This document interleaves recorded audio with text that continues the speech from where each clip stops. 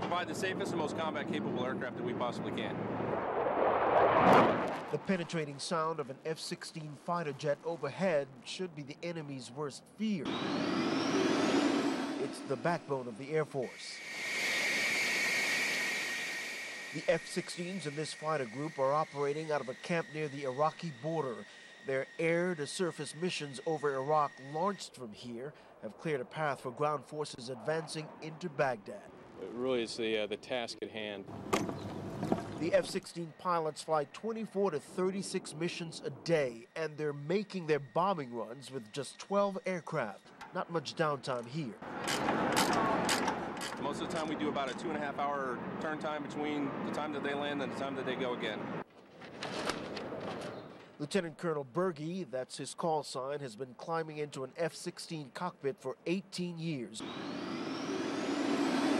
He says the quick turnaround is part of the job, but when we asked about friendly fire incidents, he says that's one part of the job pilots take great pains to avoid when they take off on a mission. We make 100% sure that what we're uh, targeted against is a one military target and two it's uh, not one of ours.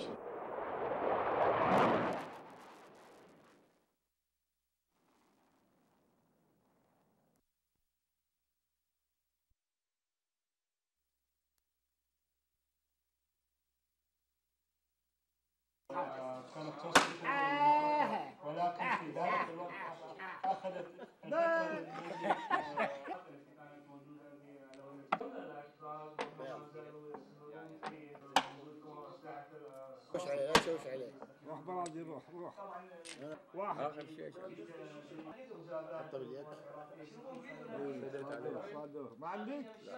يمكن يكفر هات هات هات يمكن هات يكفر هات هات هات خلعت هات. ما تعرف تعدل صبر يا حمار.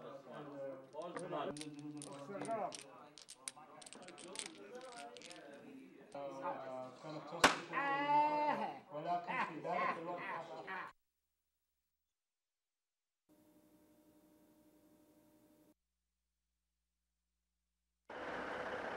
first light, the British Army convoy pulled out. By daybreak, it was cutting through the checkpoint into Iraq. Kuwait was in its rearview mirror, more than 30 trucks, all full of diesel fuel, headed for an undisclosed supply hub for U.S. troops 250 miles south of Baghdad. There's not an awful lot to see around us.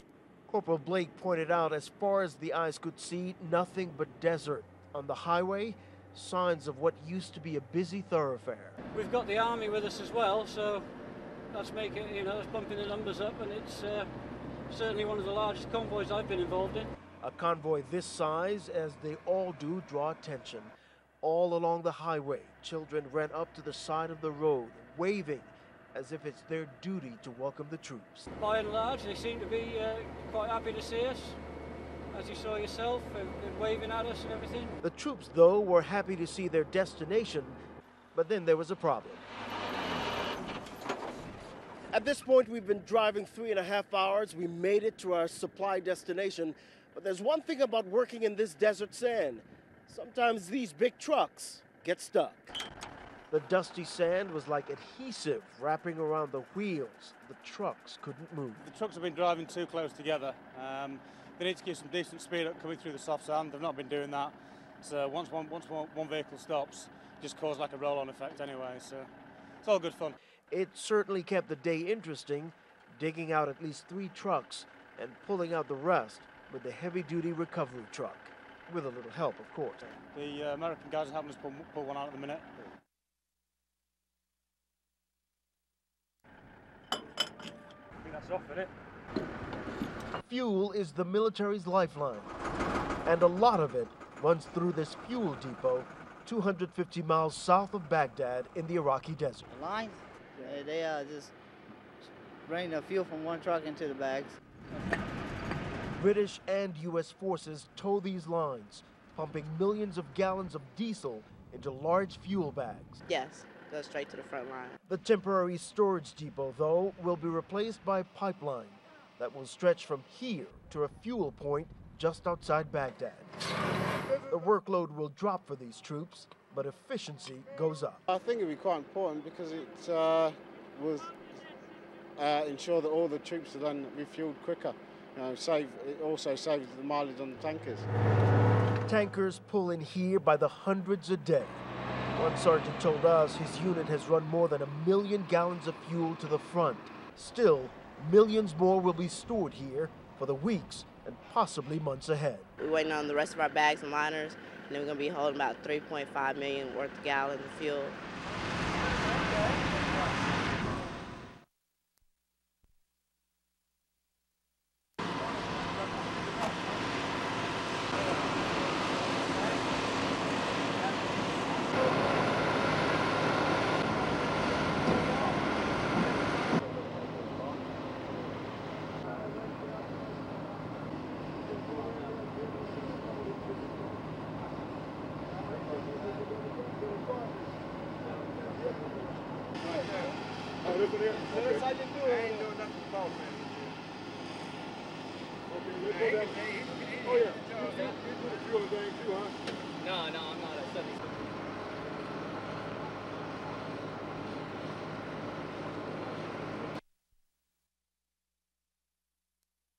I'd rather be out here now fighting this war so my kids don't have to come out here.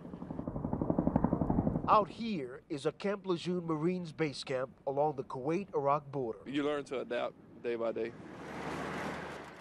Out here in this sun-drenched desert, the dust flies like the flags that stand tall over this base camp, and the work almost never grinds to a halt. Back in the rear is usually a normal work day unless we go on um, op- operations for training. But here is drills and all day is you're in a work environment. Most of the troops here are young Marines at work, building bunkers, moving supplies from here to the front, on guard 24 7. Young Marines clutching rifles, on duty, at work. When Corporal William Morales isn't heading up a squad, he's rifling through his toolbox. Only thing I think about is this piece of gear needs to get working. I grab my toolbox and I head out there and I fix it. Life in this base camp is a daily grind, nothing like home. Although for some of these troops, thoughts of home get them through the day. It's hard. I'm not. I can't say I can put my wife or my kids aside, but I, I do my work first, and then if I have time, I think about my family. Ken Smith, WRAL News.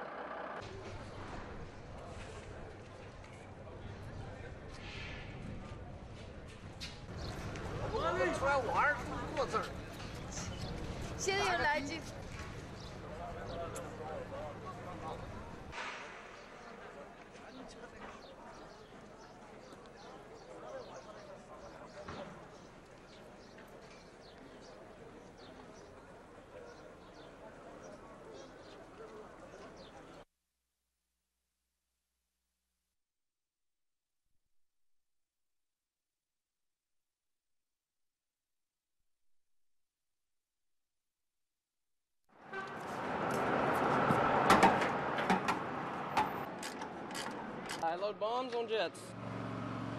The bombs they load drop from F 16 fighter jets, the backbone of the Air Force. When you just come into the military, yeah, you think about it, but after a while, you've been around these bombs and different airframes. It just come normal routine. So it's nothing really new to me. What's new, though, is that this is not a drill, it's war, and their timing and precision must be as sharp as the men and women who fly these jets. We've got a big job to do, and we've got to get done as quick as possible to get the jets back up in the air. These weapons maintainers work together like a NASCAR pit crew, racing to get their job done when every minute counts. The men and women working this flight line stay busy, working 12-hour shifts, and sometimes the turnaround is very quick. They sometimes have to get an aircraft prepped and ready to go within an hour of its landing. That quick work means another mission can get off the ground. And for these men and women on this flight line, at least part of their job is done. It's a good feeling. It's, it's even better feeling when it comes back without the bombs. Ken Smith, WRAL News, Kuwait.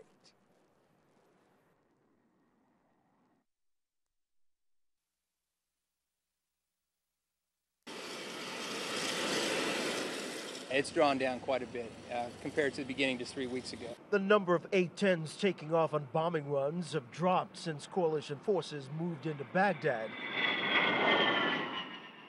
Now the troops working with these hogs have some extra time to play with. It's kind of a time for us to be able to step back and take a deep breath. At the height of the conflict, A-10s were taking off from this base near the Iraqi border sometimes every two to three hours. But like the war, times have changed. Now it's just kind of, you know, rolling into that what are we going to do next or when's this thing really going to be, you know, completely over? Since the sorties have been scaled back, the missions are now longer, sometimes five to six hours, giving the men and women on the flight line plenty of downtime. But every now and then something happens that reminds them that this is still an active flight line. Everybody just ran over there, tried to help out. Just as this A-10 was prepping to take off, smoke started pouring out of the engines. The crews made quick work of the problem, though. No one was hurt. And that extra time the crews had, well, this aircraft took care of that. But it's all in a day's work on the flight line. Anytime we have a jet burn and anything going on, we all kind of want to get in there and help out just to make sure the jet's safe and the crew is all right.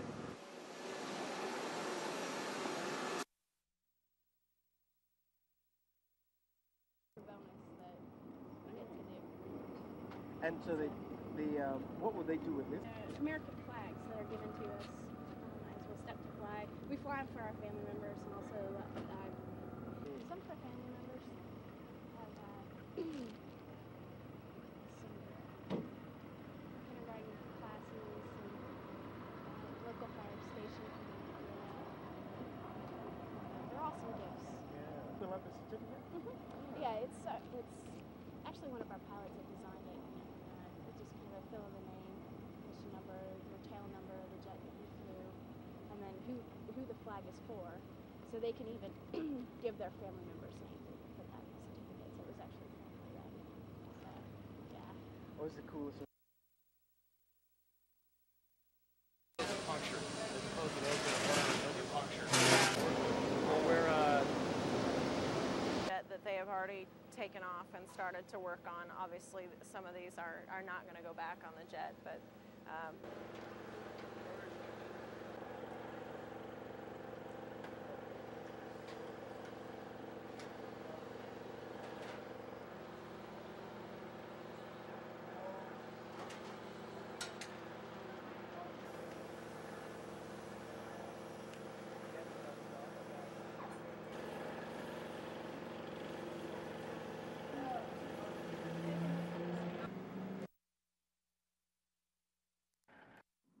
Our training prepares us for this this kind of environment.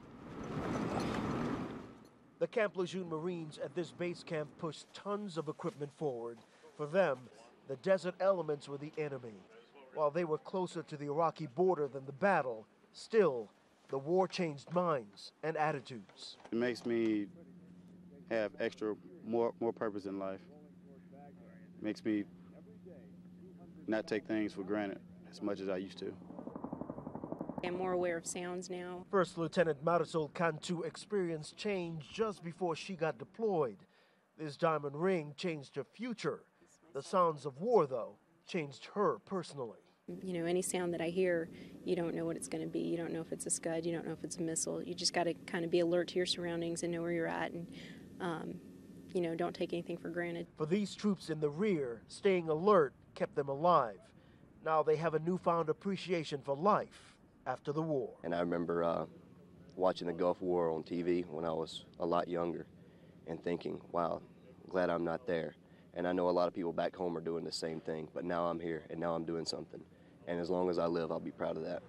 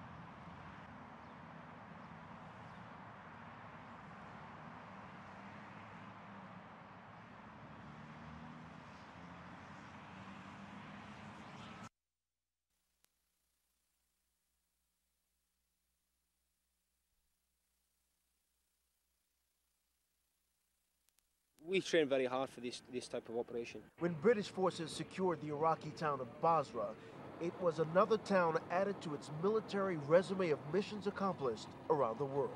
A lot of the um, type of operations that we had to uh, deal with in Basra, for instance, uh, fighting in the build-up areas, is something that we've conditioned, uh, we've been conditioned to over a number of years, working in the Balkans, working in Northern Ireland, uh, and in, indeed working in Afghanistan more recently. Think That's off, isn't it? From the front lines to the rear, British forces make up about 20% of coalition forces, including the 7th Transport Regiment. The troops here have been running fuel and other supplies into Iraq. Their biggest battle, they tell me, is with the weather. But they've found a way to fight that. Lots of sunblock. We've been issued with goggles and uh, lightweight coveralls so that when we're working, you're not wearing big, heavy coveralls. While the work rolls on in the rear for these troops, they haven't forgotten their fellow soldiers and Royal Marines who won't be making it back to their families. It's an ultimate prize these soldiers won't forget. I'm married, I've got a wife back in Wales, um, two children, and especially when I read that these people that have died during the conflict, you know, married and small children and all that, I just feel for them.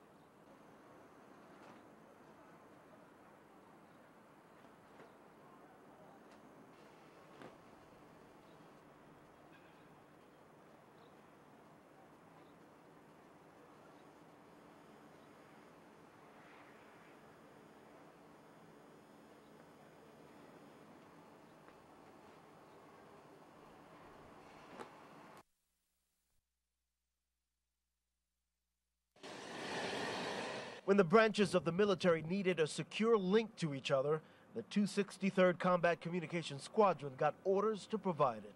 So we actually work for the 82nd, 101st, the 3rd, and the 4th. Everyone, anyone that needs communication coming through here, voice or data, we provide it. The North Carolina Air National Guard unit works out of this camp just outside Kuwait City. Obviously, with the challenges of a combat area, be it you know missile attacks, uh, just the environment itself, no complaints. Everybody's worked real hard. Everybody's just really proud to be here. For many of these troops, they're doing their civilian jobs only in uniform. Both of my positions complement each other, and, and the, the skills and the experience I get benefit each other. Not so, though, for other troops like Tech Sergeant Ed Krasinski. He's an insurance guy turned radio operator for the red, white, and blue. It's uh, definitely a difference, uh, much more fast paced at, at my real job. The unit's camp is next to Kuwait International. Seeing these jets take off every day gets them thinking about what they're most looking forward to after this assignment. Getting back to my, my new bride. Lobster and a rare steak. And the family, of course. not necessarily in that order. No, no, not in that order.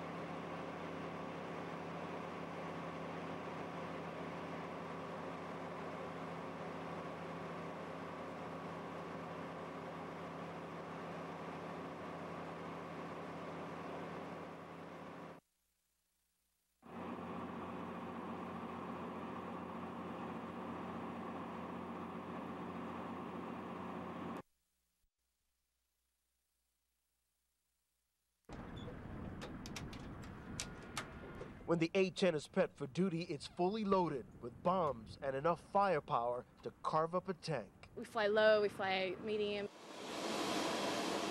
Captain Bash going over her pre-flight checklist and Captain KC heading out to the flight line are the only two female combat pilots with the 75th Fighter Squadron. Between them, they've flown countless bombing runs over Baghdad. I want to be dropping bombs and shooting the gun, helping our guys out on the ground.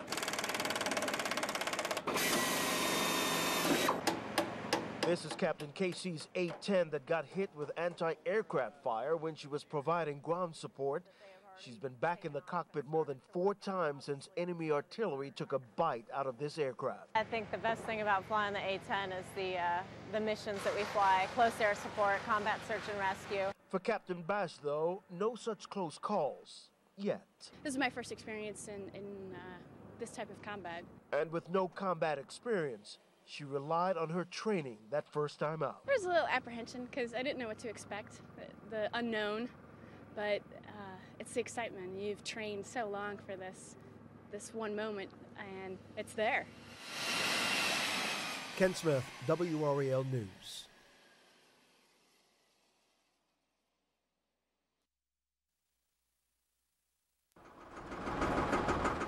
While it may not look it from the dusty landscape, this corner of the Iraqi desert is an international work site.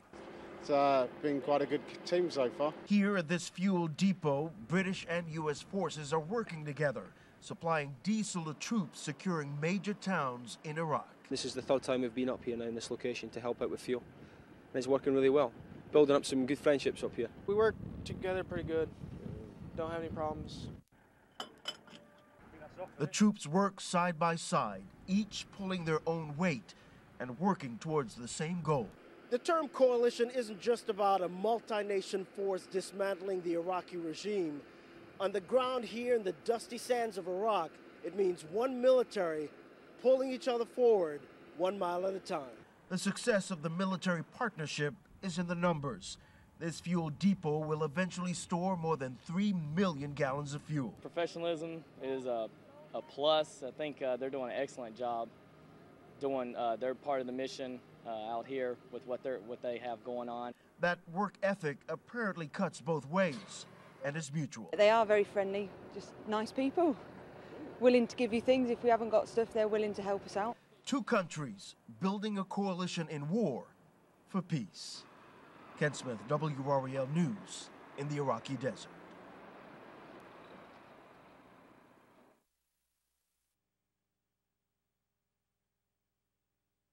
Up from the grave he arose. From the sound of it, Easter has dawned in the desert. These soldiers in arms at this sunrise service are also soldiers in Christ, relying on their weapons for protection and their faith for survival. I think it uh, helps you to get you through the day. They can hear that still quiet. For First Lieutenant Vanessa Kovac, having gotten engaged just before this deployment, her spirituality fills the void of leaving home. It's that, that happy thought that keeps you going throughout the day, gives you that moments to reflect, and you have something to reflect on always helps. That Jesus did taste death on our behalf, and he was resurrected, and now he was here. The troop's spiritual caretaker is Captain Ken LeBron. Raised Catholic, attended a Presbyterian seminary, and married a Southern Baptist. He is well equipped to take care of the spiritual needs of the close to 500 members of the 37th Engineer Battalion. I heard one time that the uh, most powerful weapon in the uh, military runs on water. And that just serves to remind me that the most powerful weapon in the military is the human being, and they have a spiritual side, and it needs care. This spiritual guidance comes as these troops get ready to head north into Iraq. They're not only traveling by highway, but by faith. Ken Smith, WRAL News, traveling with the 37th Engineer Battalion from Fort Bragg.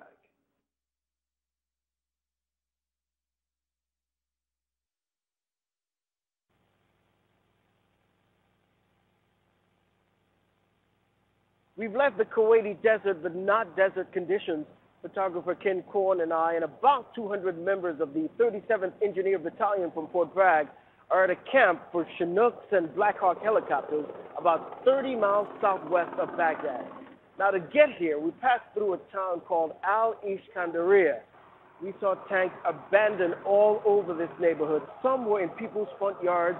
Some tanks were on the side of the road looking as if Iraqi soldiers left in a hurry.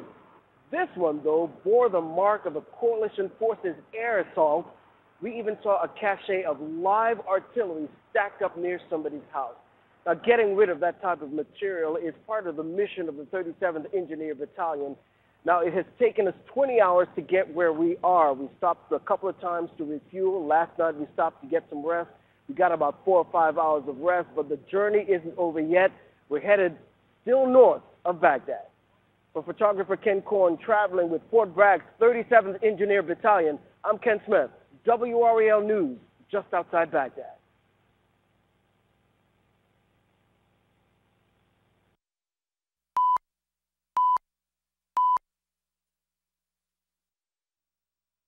We've been traveling now for about 12 hours, which has gotten us to this point north of Baghdad, but it was slow going today, and here's why. We traveled through the southern sector of Baghdad, and that's the area where the third ID secured during the siege of Baghdad. Crowds of people flooded the streets and nearby markets. We were trapped in uh, a traffic jam for most of the way through this town, but this is a sign that uh, many people in parts of Iraq are getting back to their daily lives. Now, once we got through this congestion, we were able to pull off the road. Some of the troops were able to check their vehicles. Others looked at the scraps of this war. These Iraqi uniforms were laying out in this open field. It also gave all of us a chance to stretch our legs. Now, this has been a long haul, but the troops are forging on. They are ready to get down to business because we are linking up with the 101st Airborne Division. For photographer Ken Korn, traveling with Fort Bragg's 37th Engineer Battalion, I'm Ken Smith, WRAL News, north of Baghdad.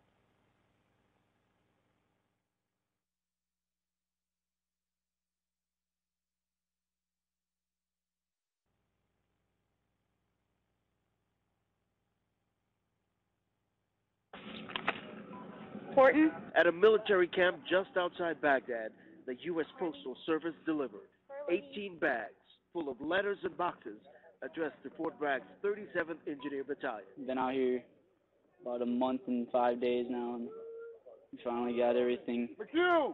The first mail call in five weeks for these troops since they were deployed. They could use it after dealing with the worst of what nature can dole out in the desert. First Lieutenant Courtney Hirsch is an NC State grad. She got a letter from an old college roommate. because I wasn't expecting it at all. So just to know that there are a lot of people back home thinking of us all. Garnu! PFC Garnu got the lion's share of the packages. It looked like he was about to open his own post exchange. Garnu!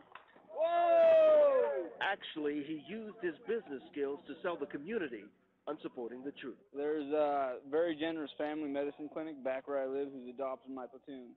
They sent the whole platoon candy and stuff, and there's also a third grade class that adopted our company. For now, the business of the battalion is on hold. Mail is a priority. For photographer Ken Korn traveling with the 37th Engineer Battalion from Fort Bragg, I'm Ken Smith, WRAL News, outside Baghdad.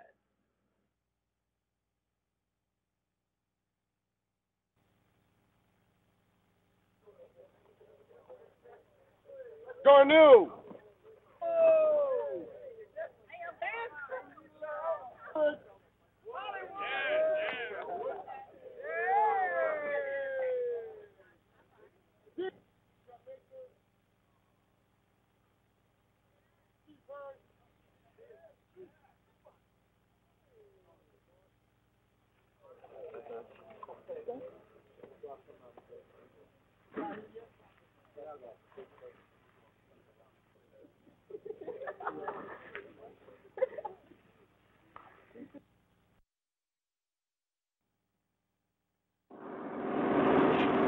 These days, on Iraq's highways, a military convoy is as much a part of the traffic as the villagers who wave them through.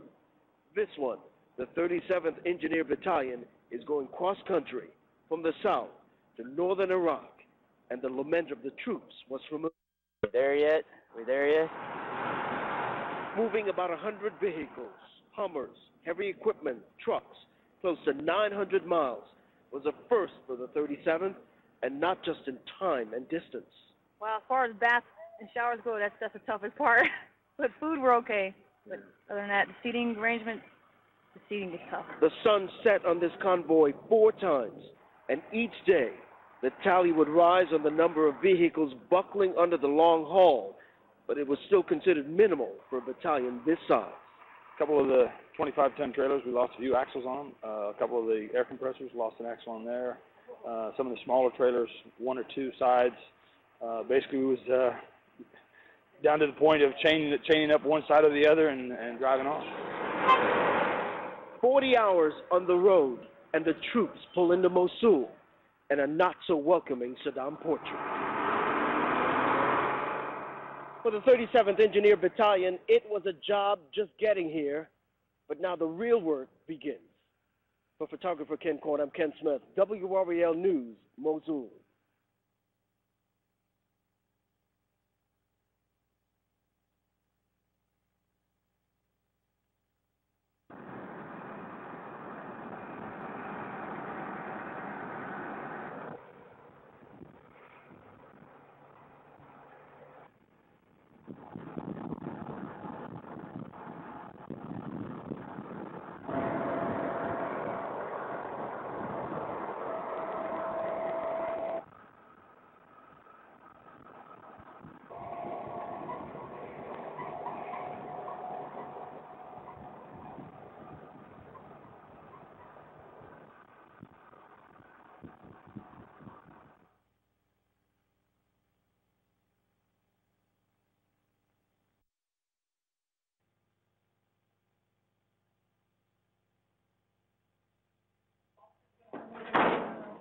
In the field, a soldier's work is never done.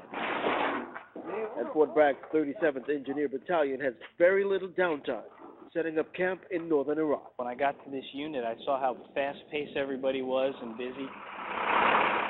The workload then and now didn't leave much time for spiritual counseling.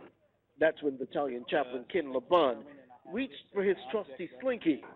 This wiry toy got him through some stressful times at seminary. He figured it could help keep the troops on the straight and narrow. Over the time, uh, over the time that I've been with them, I've realized that they don't have time to slow down and just sit and chat with the chaplain. So I used the slinky as an illustration for little mini two-minute sermons. Private Jacob Samples remembers his slinky sermon.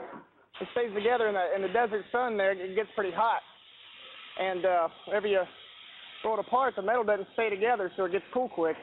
That's uh, pretty much the same thing that uh, you do as Christians. You try to stay together tight to keep the warmth there. It's very addictive. It's never very far from specialist Christopher Lambert's reach. I do break it out of my bag and play with it when times do get hard. It'll come in handy since he'll miss his daughter's first birthday next month. And just in case you're wondering, photographer Ken Court and I have been outfitted with our slinkies and words to live by as well. Ken Smith, WRAL News, Mosul.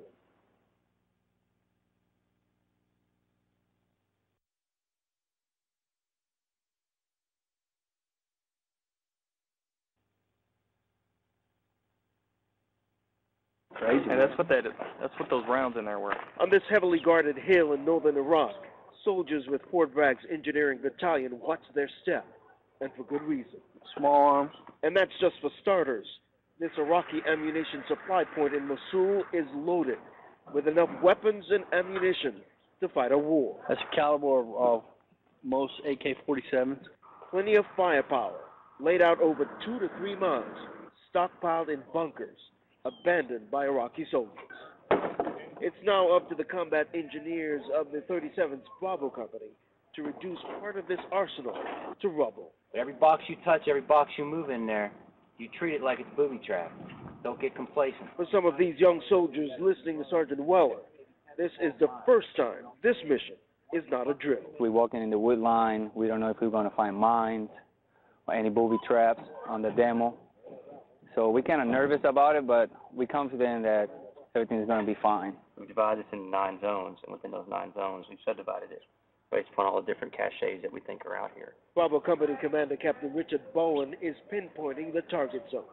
We have this large landmass full of all types of munitions. So now we have to go through and systematically figure out exactly what we have. Getting rid of this stockpile of weapons and ammunition isn't just a priority for Bravo Company, but also for establishing security in this country. For photographer Ken Court, I'm Ken Smith, WRAL News, Mosul.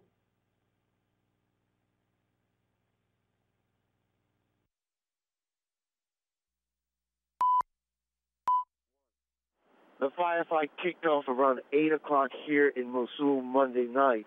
Now, from where we're encamped with Fort Bragg's 37th Engineer Battalion Bravo Company, we could hear clearly sudden bursts of gunfire. We could also see traces lighting up the night sky. Now, that lasted for a good two hours.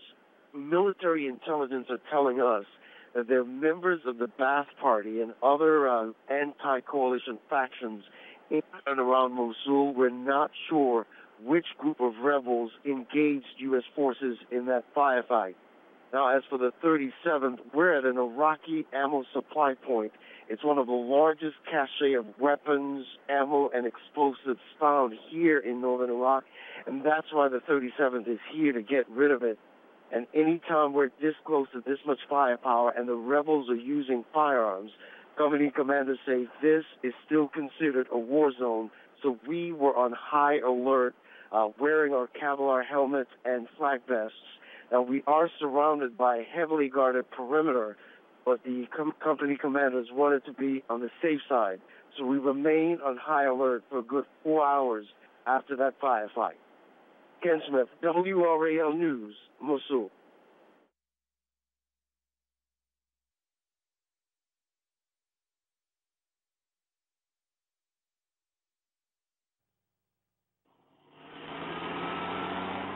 This hillside in northern Iraq, two worlds.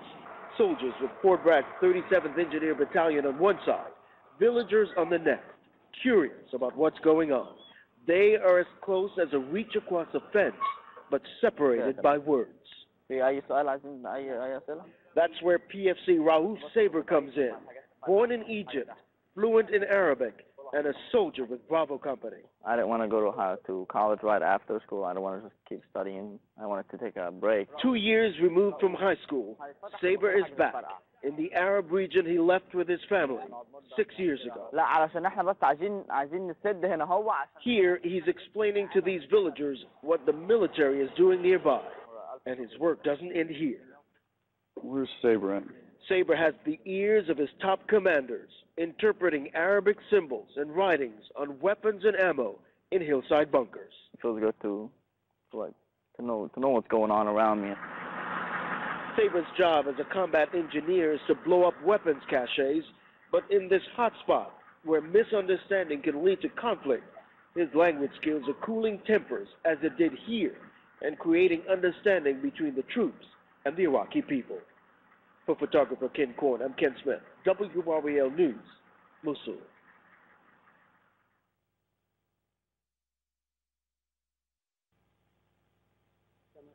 Montreal.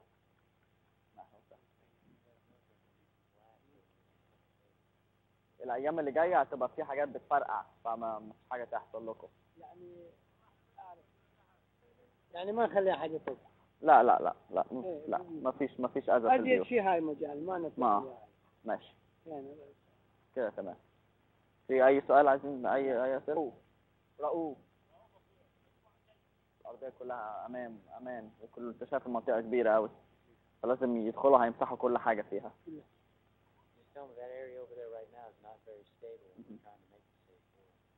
زي ما قلت لك هو قال لي دلوقتي المنطقة اللي هناك كده دلوقتي فيها حاجات كتيره متفرقعه زي ما بقول لك. آه مخازن.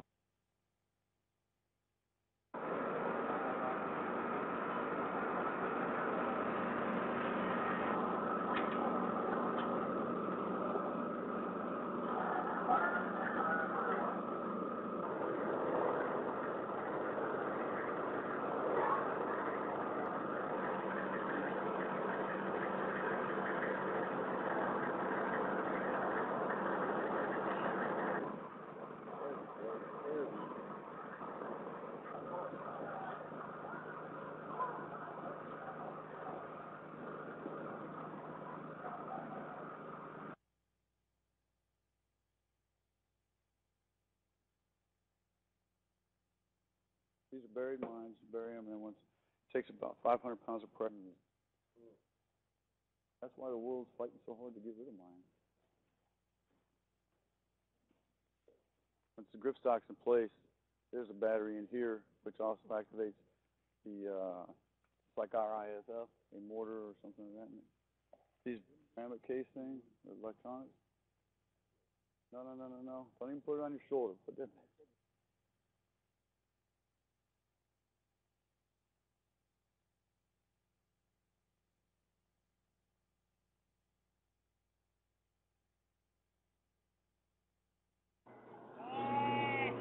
Bedouin tribes call these hills overlooking Mosul home.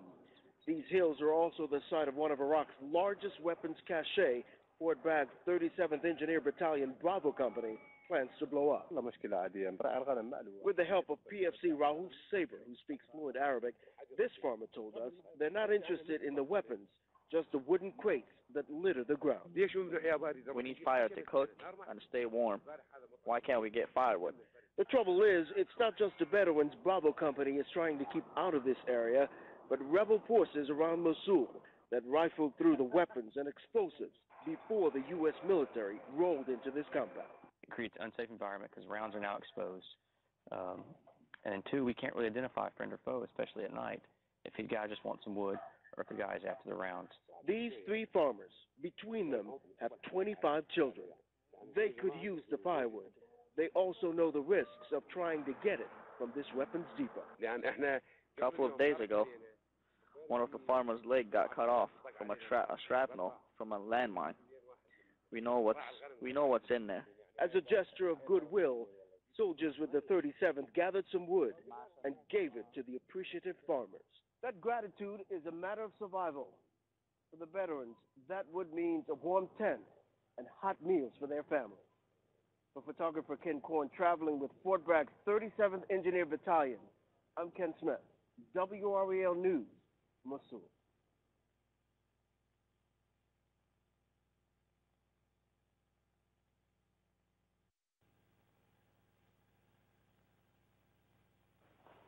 Already got the tripwire package with the Valmar. First Sergeant James Dickens, Bravo Company, a combat engineer for more than 20 years. Back here, this is a VS 2.2 anti-tank mine. Some very nasty mines. First Sergeant Dickens knows his weapons and ammo, but he says some of the landmines the troops uncovered in these bunkers he's only seen in pictures. More mines in here. As we went deeper into this bunker, the stockpile of landmines reached the ceiling. This is one of the larger caches of mines that we've found in this bunker complex. Very significant find.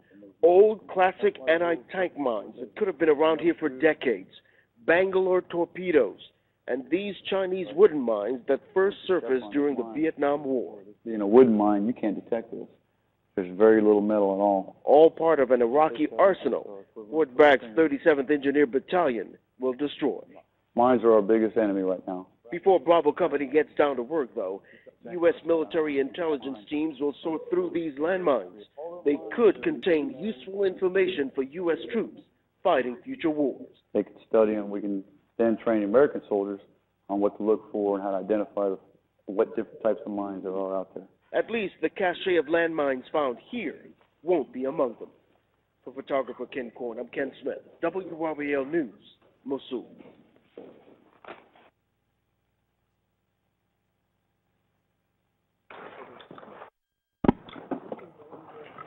Hey, let me know if we get to 200, sure.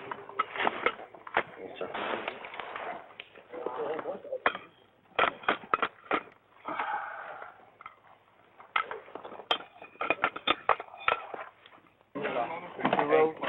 Huh? Two rows. Two rows. Straight down the south.